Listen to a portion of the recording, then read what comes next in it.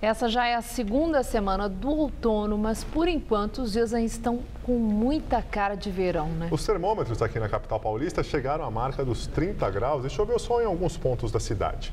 Mariana Armentano tem os detalhes da previsão para amanhã.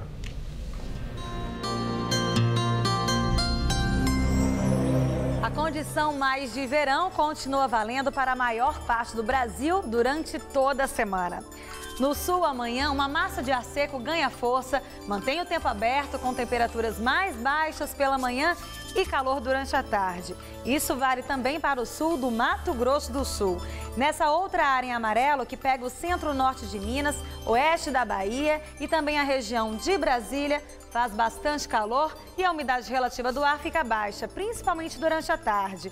Nas outras áreas do Brasil, sol, tempo abafado e temperaturas elevadas, com pancadas de chuva. Os maiores acumulados se concentram entre o Amazonas, o Pará e também o Amapá, onde a chuva vai e vem a qualquer hora do dia. Vamos ver algumas temperaturas?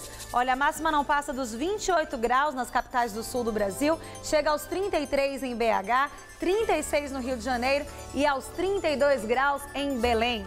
Para São Paulo, só não deve chover no extremo sul do estado, ali no Vale do Ribeira. Em todas as outras regiões, teremos um dia quente e com a umidade do ar mais alta, as nuvens aumentam a partir da tarde e aí vem a chuva que deve ser passageira, mas com forte intensidade. Por isso é bom ficar atento aos alagamentos, principalmente aqui na capital paulista. Vamos ver como ficam as temperaturas em algumas cidades? O calor é generalizado. Aqui na região metropolitana, mínima de 22 e máxima de 30 graus nesta terça-feira.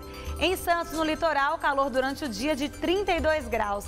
E na cidade de Araraquara já amanhece quente, com termômetros na marca dos 23 graus e à tarde chega a fazer 34.